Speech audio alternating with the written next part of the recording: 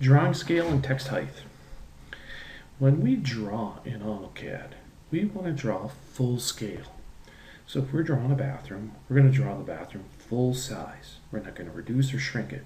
So therefore, our bathtub is going to be about five feet long. And our door is going to be perhaps 36 inches wide or something like that. But we will never scale it down or up. However, if we want to put an eighth inch piece of text in the middle of that bathtub saying bath, it's going to be too small when we shrink down that that whole bathroom has to fit on a page.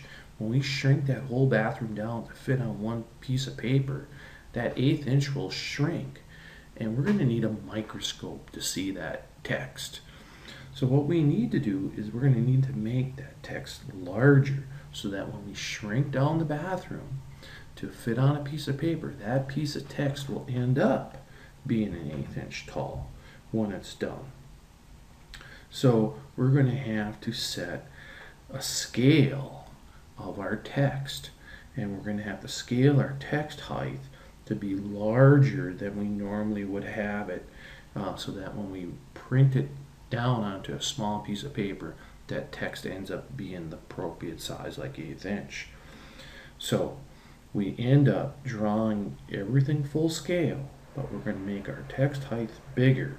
We have two methods of doing that. We can do it by scaling the text manually or we can use what's called annotative text which AutoCAD automatically calculates the scale factor of that, uh, how much we will blow up the text by.